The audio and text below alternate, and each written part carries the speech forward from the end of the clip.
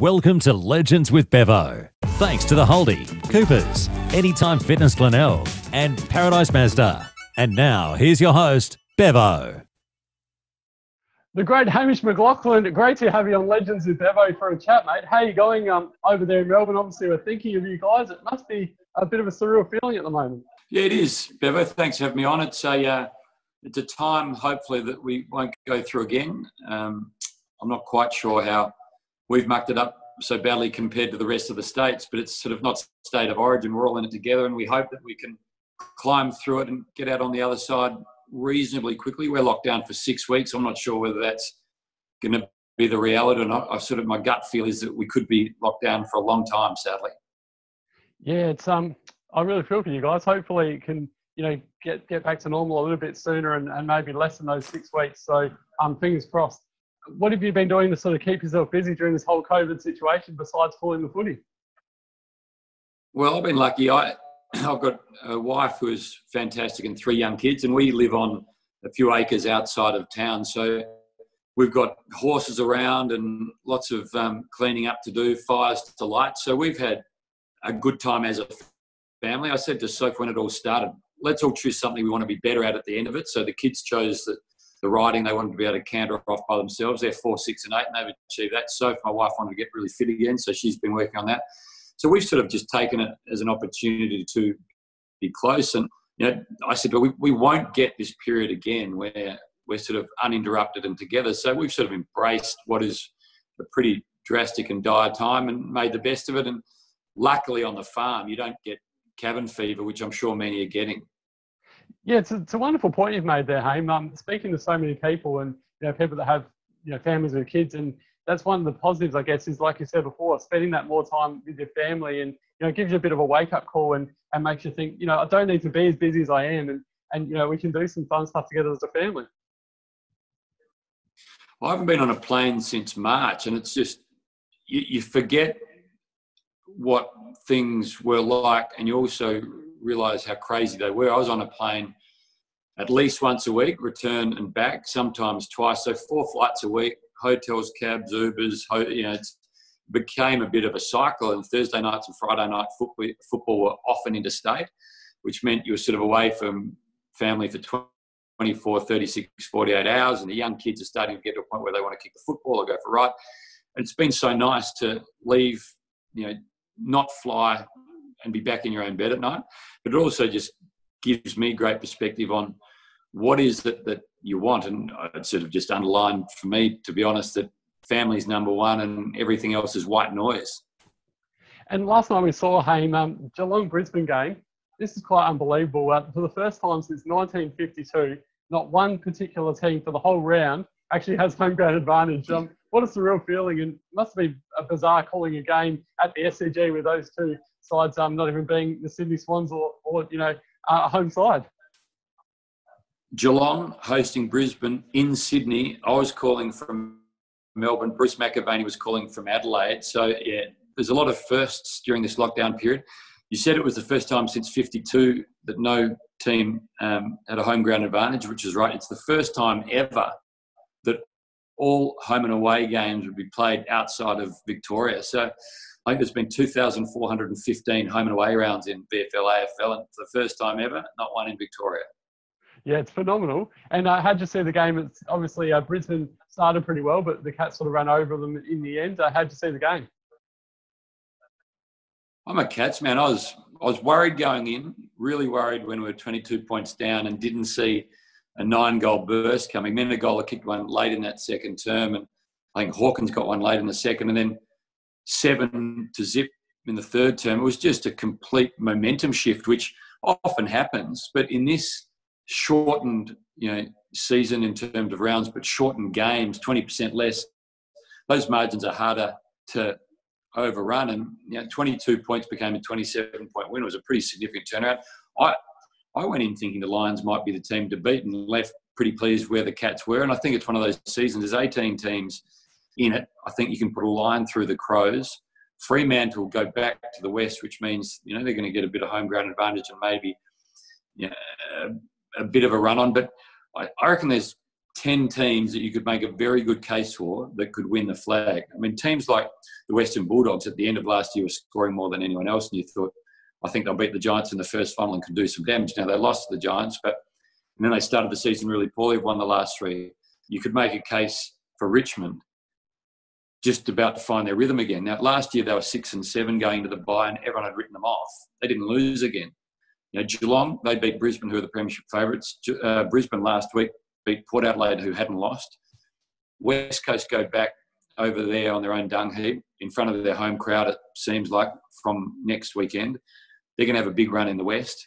And, you know, St Kilda, everyone thinks that St Kilda is sort of a, a little pup that bites on the ankles and does nothing else.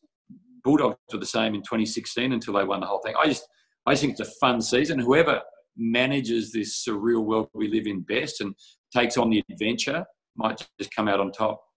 You know, it's funny you say that, Hame. I've been having arguments with pro supporters, um, and I keep saying because they keep saying, "Oh, this season doesn't count." You know, um, putting asterisks next to it and stuff like that. And I said, "Well, if your team is going as well as Port at the moment, I'm sure you wouldn't be saying that." So I, I personally think, um, not just because Port's going well, but I think if anything, this season you deserve it even more, like um, because of all the adversity that you have to go through.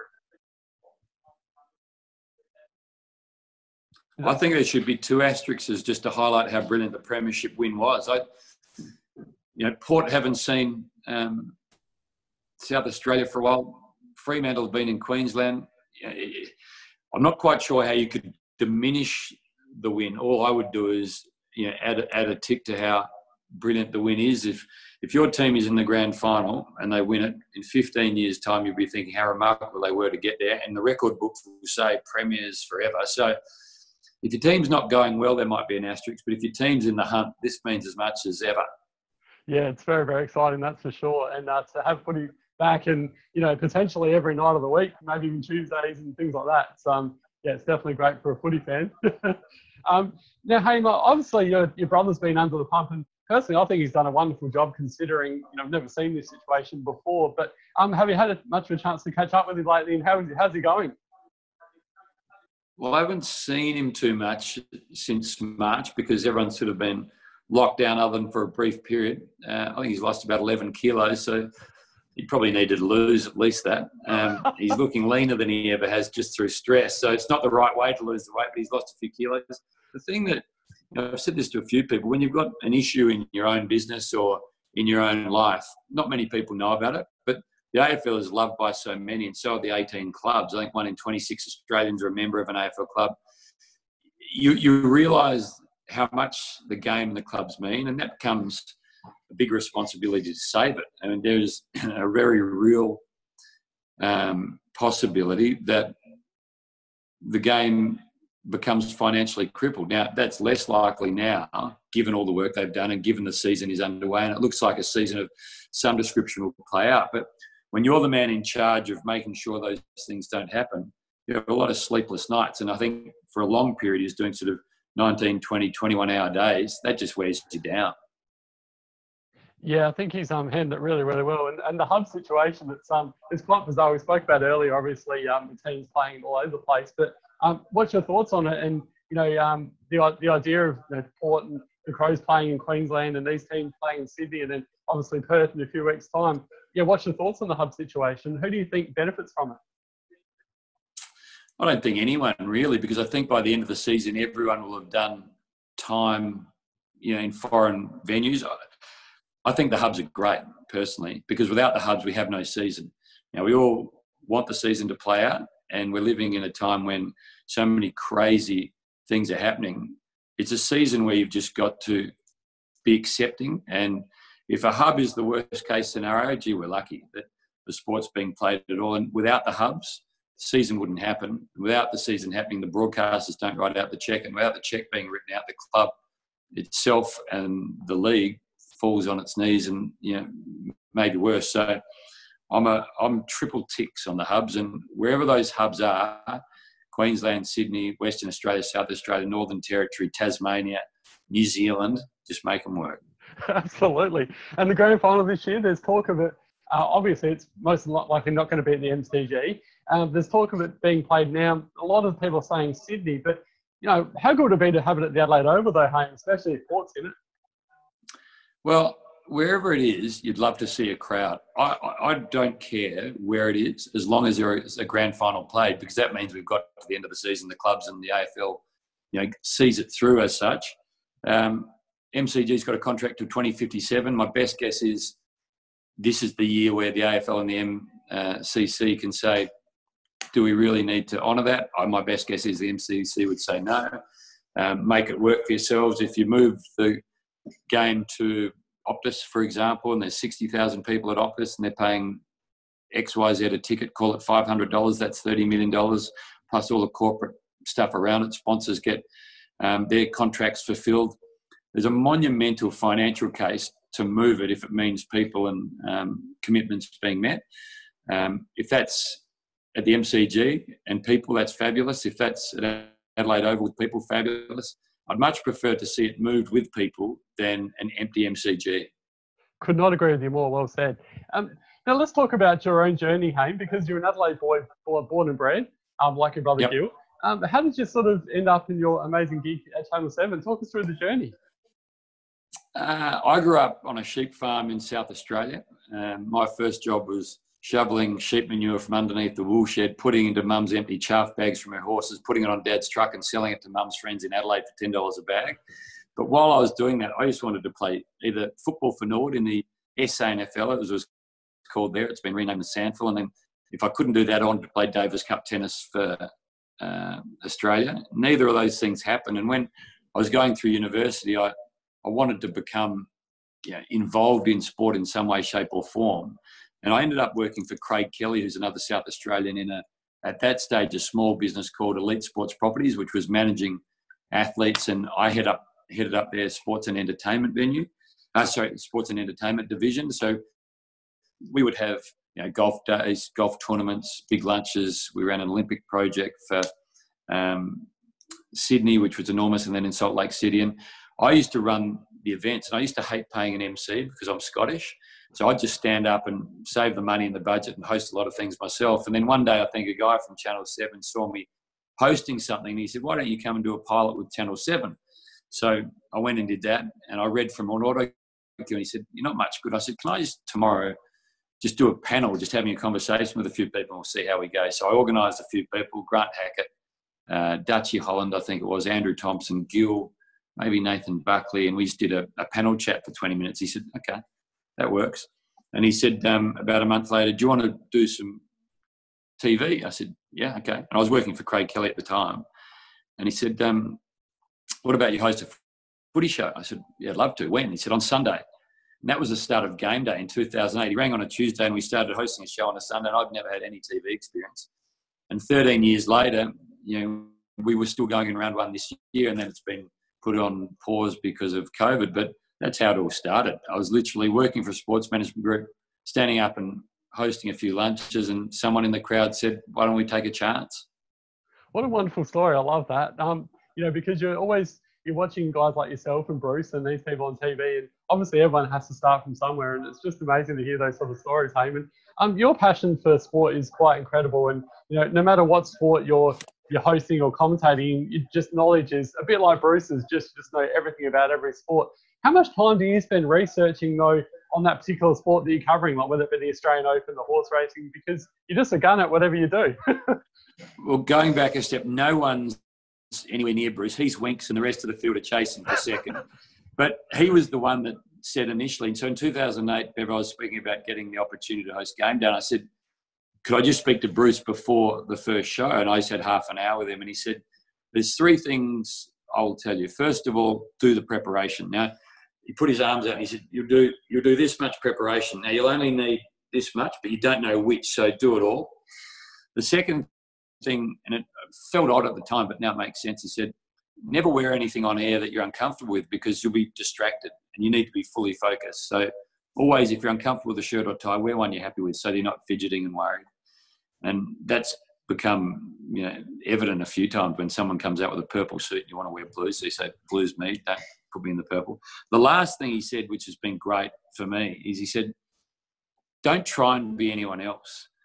You'll be a very bad, bad version of them. Be the best version of you you can be. So that was all great advice, and that comes back to your preparation piece. So the pre- preparation is really important because on a Thursday night, you're not sure who you're going to be talking about. You know, Sam Simpson might come back in for the Cats, and unless you know that he didn't play at all last year, but he did win the Cats VFL Best and Fairest and played six games in total. Hadn't played since late in 2018. His dad was a 100 gamer for the Cats between 91 and 98. You really don't know much about him. So go and flick a few pages, find that out. So if he has a big night like he did last night, there's a few things to talk about. And you just don't want to be caught out on air with the world watching without enough to say. And you end up doing a lot of preparation. And hopefully that recall, you know, is there when you need it. But yeah, it's the preparation piece has been really important for me. And I don't feel like it's a task or arduous because I love sport so much that when you're researching Winx and her sequence of wins or Sam Simpson or Roger Federer or Rafa, it's all just a joy. Yeah, I, I totally share your passion, having sort of been involved with sport, you know, on radio before in the past and, uh, and TV as well. Um, I wanted to ask you. Obviously, you've done some some really interesting interviews over time. Hey, um, you started a show called Last Time I Cried, which is on the AFL website. Um, I love it.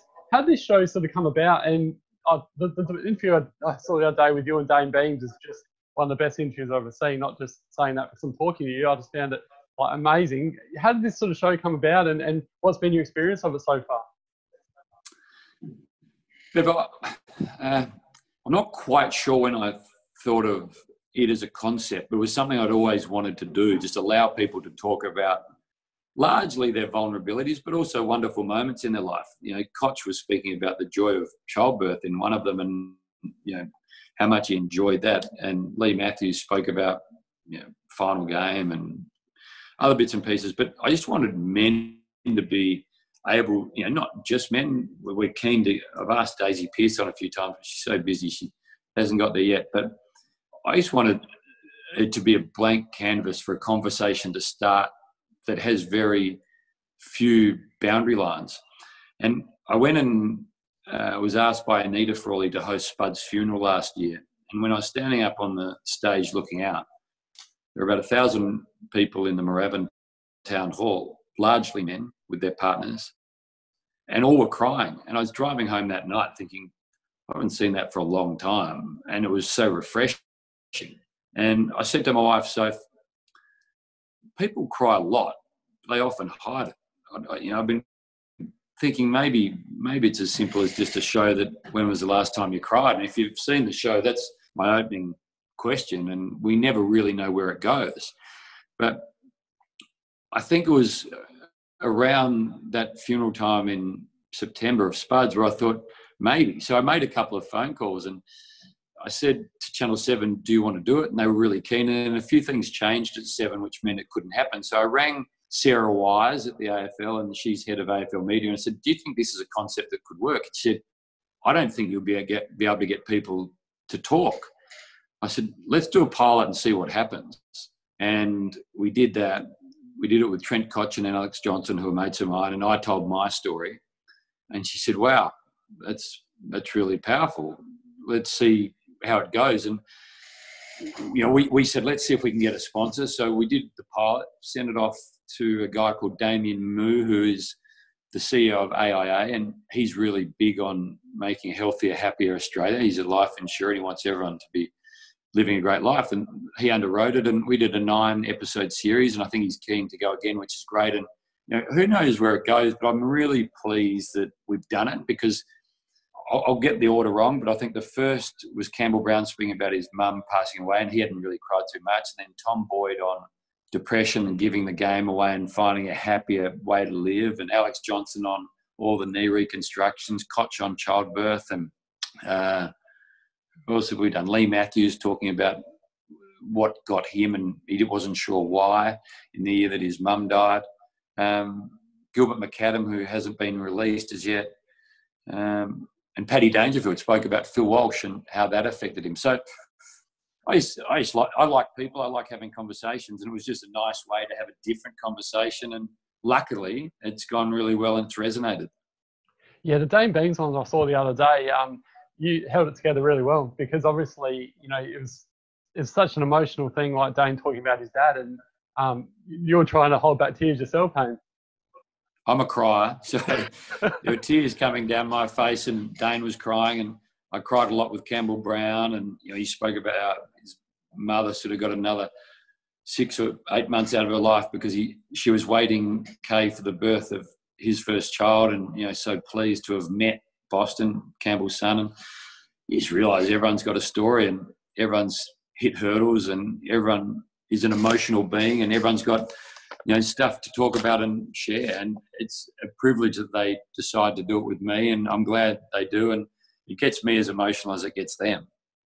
I'm certainly going to go back and listen to some of the other ones, and I look forward to uh, the future as well going forward. Now, um, a bit of a light-hearted thing, Hame. You uh, certainly work with some larrikins in that com box. Um, BT with his roaming Brians and, and obviously Bruce, uh, which there's no need to give him an introduction. But um, how do you find sort of working with these guys and how do you find the roaming Bryans segments? Because that just gets out of control. It's actually hard to, you know, not laugh yourself sometimes when he's there. No, that's the beauty of it. I think. I think that segment's designed to take you somewhere that you can't go as a viewer and to entertain. And he's a great entertainer. I think he got the idea. He's watching a Formula One race where there was someone from the broadcaster going from car to car just minutes before they drove. And he thought, why can't we do this? And it was his idea. Credit to BT on that. There's two things I'm very nervous about when I'm broadcasting Bevo. One is the live interview with the Auskicker because it can go anywhere, and watching Roaming Brian because that can go anywhere. But you know, we're lucky to work with brilliant people. Bruce, I think's one of the greatest all-round broadcasters the world has ever seen. Dennis Cometti, I think, is the greatest football broadcaster and a brilliant Olympic broadcaster. Wonderful cricket commentator, if you ever heard his radio broadcasts. BT's his own beast, but you get to you get to work with and speak to people who are at the best um, of their craft. I mean, sitting down with Roger Federer before an Australian Open final, and once he's won, is stuff I dreamt of as a kid growing up in a country town in South Australia of 260 people. So, to your point, it's great. And then you meet larrikins. I mean, Danny Frawley was a great mate of mine.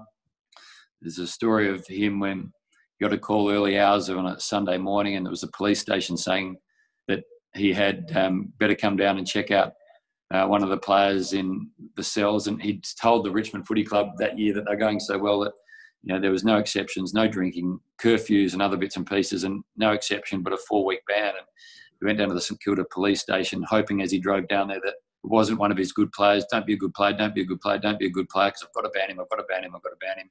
Got down to the police station, went and saw the sergeant. He said, "Who is it?" He said, "It's Brad Ottens." He said, "Oh, not Brad Ottens." He's in all Australian form. He's dominating the middle. He's helping us win the clearances. Not Brad Ottens. so he said, "Where is he?" He said, "Oh, he's down there in cell three. So he went down there, three thirty in the morning, and Brad was drunk and disorderly. That's why he'd been grabbed. And he went down to cell three. He looked around the corner. Brad looked at him. Brad said to Sir Spud, "Spud, what did they get you for?" And Spud started laughing. He said, "Brad, come with me. Don't tell anybody about body about this, and we'll play you next week. And he played him next weekend. And they went on to make the prelim that year. But know, you you're with people all the time that live big lives and have good stories. You know, Jason Dunstall, Triple M, I had a lot of fun with over the years, and Gary Lyon and Tim Watson on radio, and Cameron Ling and Richo. I mean, Matthew Richardson, one of the greatest men you'll ever meet. Yeah, you certainly will have worked with some great ones, that's for sure. Um, I want to ask you. Obviously, you've interviewed some superstars. You mentioned Fed before. Um, hey, what's been your favourite interview and your least favourite interview and why? Favourite's tricky. Um, oh, top top three then. yeah, um, the interviews that I love the most is where the subject is completely engaged. Roger Federer is the master, at least, of pretending he's engaged. You could ask him what do you think the weather's like? And he'll give you the greatest answer of all time. So he makes you look like a wonderful interviewer, but he's got so much depth to him. He's got so much um, life lived. It's not just a tennis player giving you robotic answers. You know, his father's Swiss, his mother's South African. He's been in spots where he wasn't performing. He found a way to perform. He's been told to retire for years, and he's still in the top three in the world. He's got a Roger Federer Foundation that does great things. He's married. He's got a couple of sets of twins. He's a family man, a husband. He just gets it. You know, he's a brother. He's all those things. I love spending time with him. I spent uh, last year. Kobe Bryant came to Australia, and I was asked if I would do an interview with Kobe on stage for an hour in front of uh, 3,000 people at the Crown Palladium, where they're paying sort of 8,000 for the front row and a lot of money for the back row. And I said I would. I started researching him, and I spent some time the day prior with him talking through what we would talk about. And he was so impressive on so many different levels. But I went up into his hotel room and he said, "So, uh, you're Hamish?" I said, "Yes." He said, "I love your Auskick interviews." I said, "What?" He said, "Well, the, you know that stuff you do on the footy with the kids in the red tops." I said, "Right. How did you know about that?" He said, "Well, when I was asked to come to Australia, I wanted to know who was interviewing me. They gave me some options, and they sent a two-minute tape of the people that were options. And you've got a wife and you've got kids my age, and I thought that'd work well. It's like, so wow. you talk about you talk about people that are well researched and yeah, attention to detail. And then I, he said, "So where are we starting?" And I said, "Well, I thought we'd do the interview in three parts. We'd do life before basketball, basketball, and life after basketball." And he said, "Yeah, I like it. Where are we starting?" I said, "Well, maybe we start. You know, when you're a kid, your dad would had finished in the NBA and he was playing in Italy. And he went back to the States for the summer and you played a 60 game season as a 10 year old and you didn't score for the whole season. Your father at the end of the season put his arm around you and said, Kobe, if you score or you don't score, I love you just the same. He said, How did you know about that story? Well, so I you know, made some phone calls and he said, I'll give you everything I've got. I said, Why is that? And he said, Because you've obviously done the work and I respect people who've done the work. And you know, he, he on stage was just, he had such an aura about him. Was, there's two things that I love when I'm interviewing.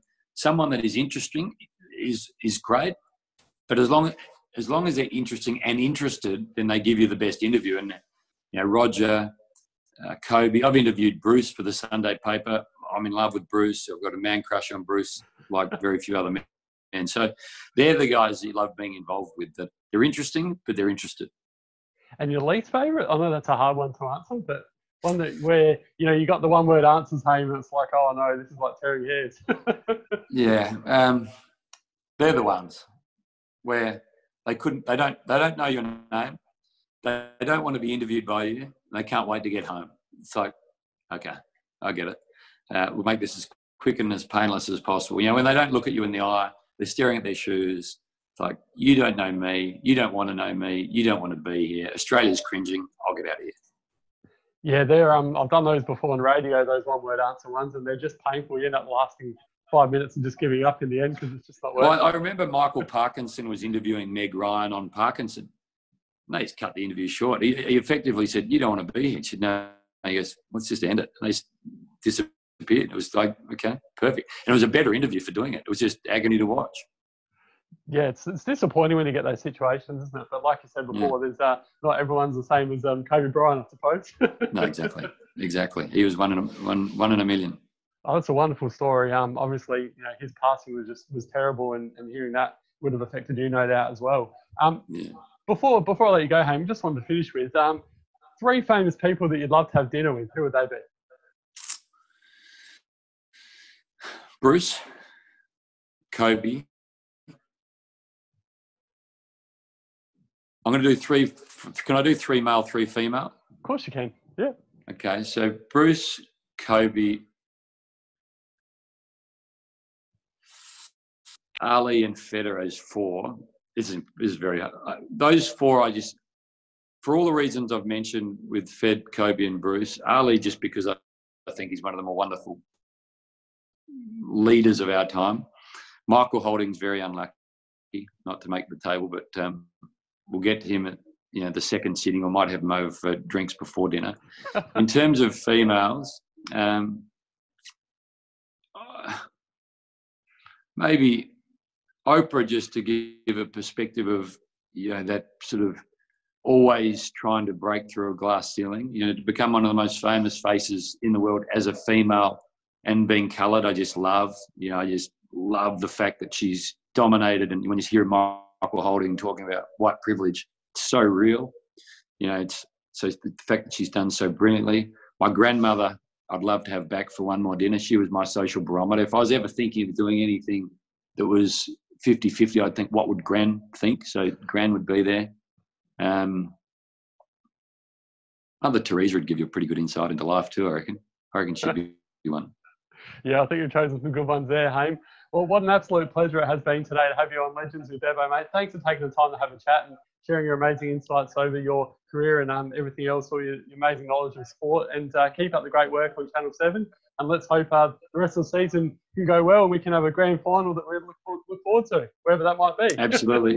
Yeah, Bevo, thanks for having me on. And yeah, if we can get a grand final of any description, it'd be great. And hopefully, those that are listening and watching this stay safe. Thanks for having me on. No, thanks so much, mate. Take care.